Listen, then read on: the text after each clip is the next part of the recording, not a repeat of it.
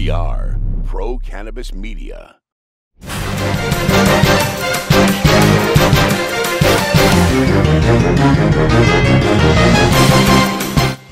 Hi, everyone. Welcome to another edition of Weed Talk News. I'm the founder of Pro Cannabis Media, Jimmy Young.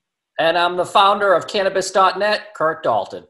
Holy moly, Curt, another crazy week in the world of cannabis news. And I guess you have to start at the top oh, with High Times. They're at it again. Yep, just released, just hot off the presses from MJ Biz. Looks like one of their cultivation cannabis, we're going to be huge on the dispensary side, is falling apart. And uh, the deal was terminated mutually by both sides. And it just begs the question they were really pumping that Reg A funding all week, saying, Time is coming, time is coming. Look at this headline. And there was no real deal to be done. It's another example of High Times just not finding their way to get out of this horrible debt that they're in, no matter what this guy Adam Levin tries. Yeah, it seems like even their, you know, their new CEO had a troubled past, not only in the cannabis CBD space, but also before that at Victoria's Secret and the L brand merger that's fallen apart. So, boy, they're kind of limping here to the the IPO lines, you know, barely barely holding on. I, I don't know how that's going to go or if it's going to happen, but they certainly got to get more dispensaries and things lined up if they're going retail, like they've been telling people for 90 days now.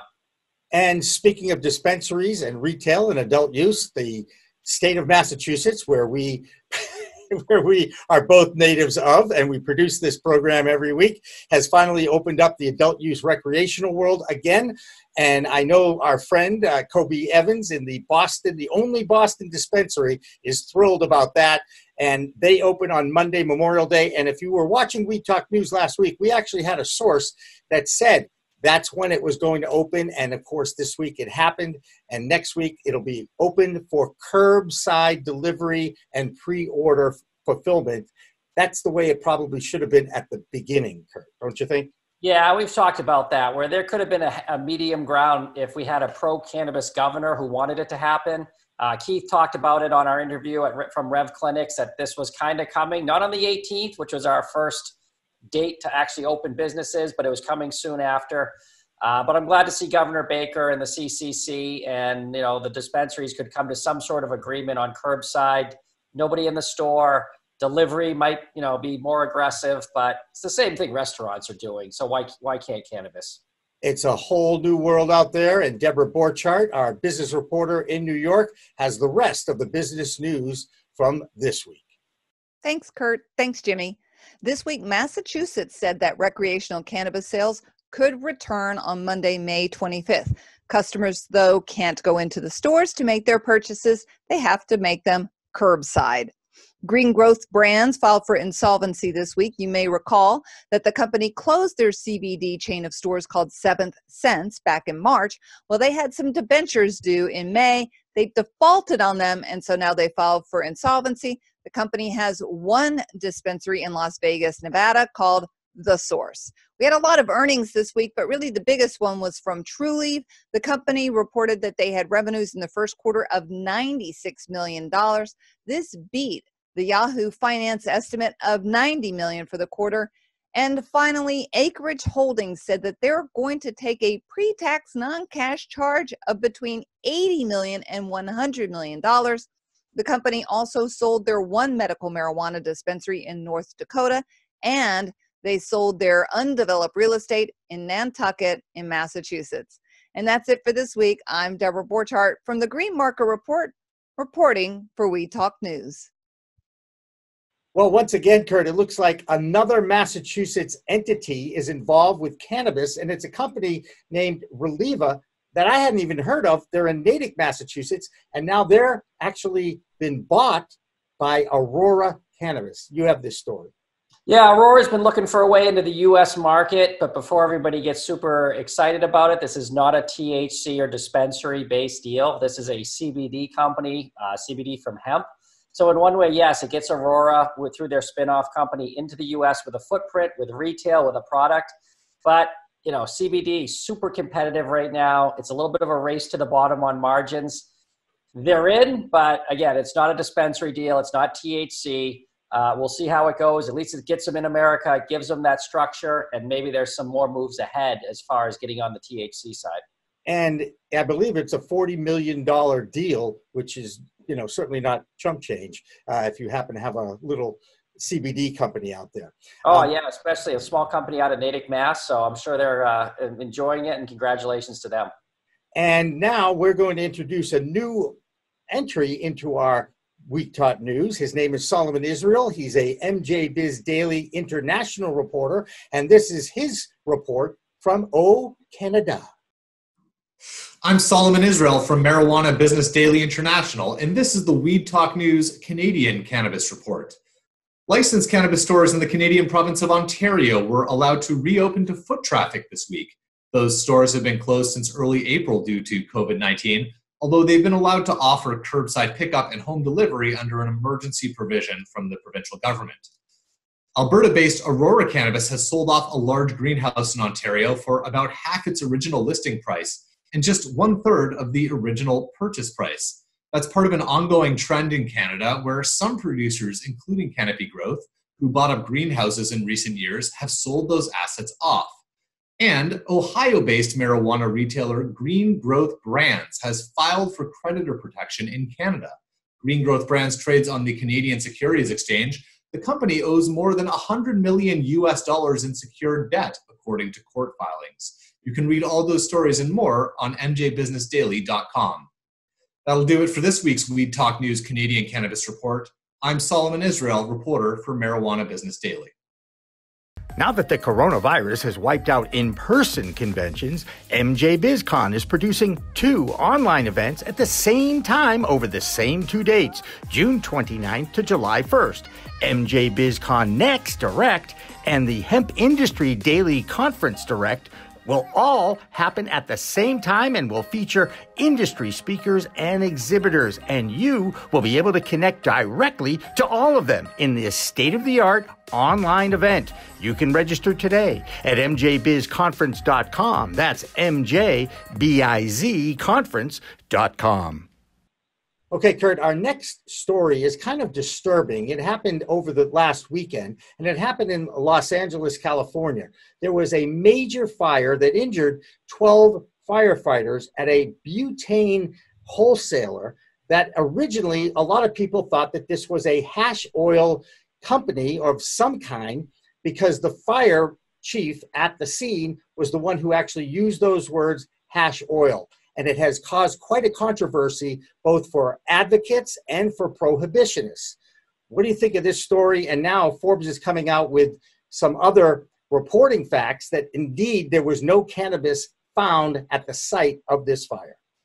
I think it's a race for a headline. When it first happened, you heard butane. That city block does have some cannabis uh, ancillary companies, so they assumed it was hash. And I, whether someone misspoke originally when they saw the fire, so the world, you know, gave their opinion on the cannabis industry for better or worse. You know, loved it, hated. Look what this is what could happen. And now Forbes is releasing. It actually had not didn't have anything to do with cannabis. It was a butane not related to cannabis. Will those same people that made those headlines and those criticism walk them back, issue a uh, mea culpa? Probably not, because it's about getting the click in that moment. But it just goes to show, you know, whether it's a good headline or bad headline for cannabis, if you rush in and start giving your opinion and, and getting it out there, the, you know, check your facts. And, and yet, again, I'm going to actually defend any reporter on that scene because the fire chief on the scene used the term hash oil, and that's what set off this whole controversy. And of course, you got to check your facts. That's the most important thing when you're a reporter. Okay, we've got another news item for you. Virginia the state of Virginia has voted now to allow the infusion of CBD in food products, which I find is fascinating because the FDA has already said we don't want that. But Virginia is, you know, for lovers, I guess. That's why they want the CBD in there. I don't know. Well, like anything, it's about money. So there's some money coming in, and, and people think they can make money and tax revenue from a CBD infused product, whether it's a new company coming in to create jobs or a product that people want um, yeah, telling the FDA we don't care about your regulation, we're going this direction. You're starting to see states kind of start to do that uh, here and there at federal policy. Not to mention the whole marijuana thing. Um, so CBD infused food, while the FDA is dragging their feet and kind of not knowing, you know, let's do some testing. States are moving forward. Uh, unbelievable once again at the federal government. Let's not go there this week. What do you think? Hey, Oklahoma. We've talked about Oklahoma. They've had hundreds of dispensaries open up there over in their first year or two of being legal, at least on the medical side of things. And now it looks like Oklahoma is going to actually introduce a breathalyzer program to see if they can actually catch those who are operating vehicles under the influence. And you know who's going to be the big winner here, Curt? Who's going to be the big winner in this one? I'm going to go with uh, Hound Labs because I think it's their breathalyzer that they're okay. using. And um, there was a chemist who finally figured out how to get it just right. You could do the roadside test. But just because the test says an amount of THC that's in your blood, here we go down the, the alcohol road of, well, I can drive at a 0.11 THC. You can't. I weigh so much. You're so tall. Just because it says something, what's the legal definition going to be of you're high, too high to drive? And those lawyers are going to have a just a field day in court uh, when precedents are finally happening here. But Oklahoma is ready to go with breathalyzers, and again, another example of why everything changes in the cannabis universe on a daily basis. And that'll do it for another edition of Weed Talk News. I'm the founder of Pro Cannabis Media, Jimmy Young. And I'm the founder of Cannabis.net, Curt Dalton. Remember, it's a whole new world of weed out there. Use it responsibly. Thanks for watching. Thanks for listening.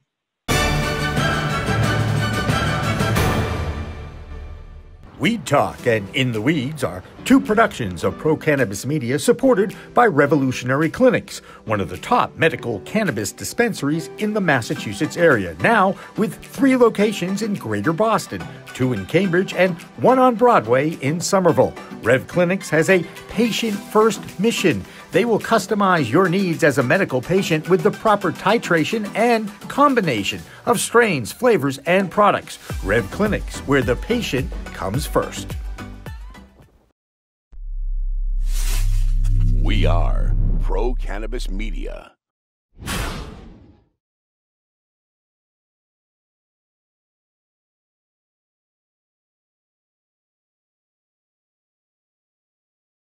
We Talk Now, Weed Talk News, and In the Weeds are all available on most major podcast distributors like iTunes, Spotify, Google Play, and our friends at clnsmedia.com and our flagship, cannabis.net. So subscribe, share, and like our videos on all the social media networks out there, including LinkedIn, Twitter, Instagram, Facebook, the WeedTube, and YouTube.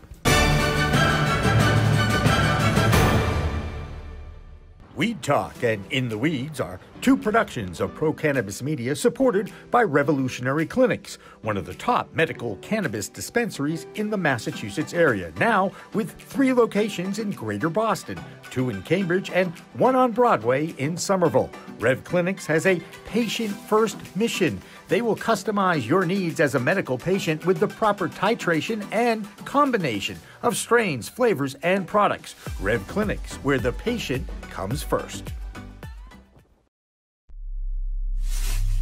We are Pro Cannabis Media.